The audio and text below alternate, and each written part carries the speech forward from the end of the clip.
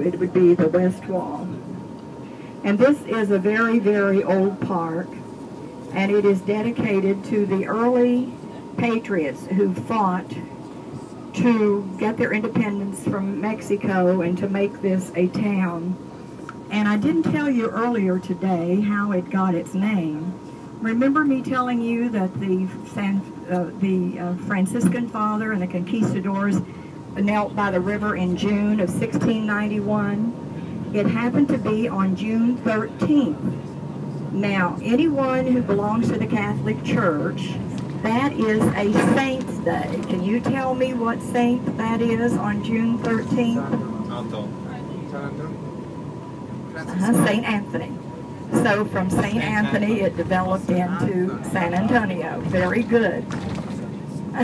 Very good.